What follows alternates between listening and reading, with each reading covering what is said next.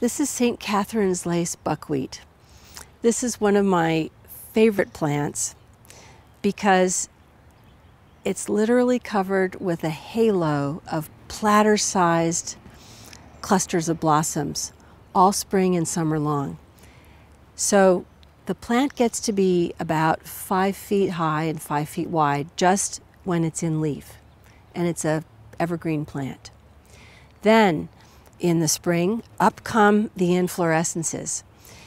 This inflorescence is going to be about this wide when it fully opens, and it's going to look like lace, hence the name. Then all spring and summer, butterflies of all kinds will be landing on this plant because butterflies have six legs and they need some place to put those legs. So these are like giant landing pads for butterflies. And then different kinds of blues and gray hairstreaks lay their eggs on these leaves. And then, once the pollination is done, these become big platters of seeds for birds all fall and winter long. So it's just a marvelous plant.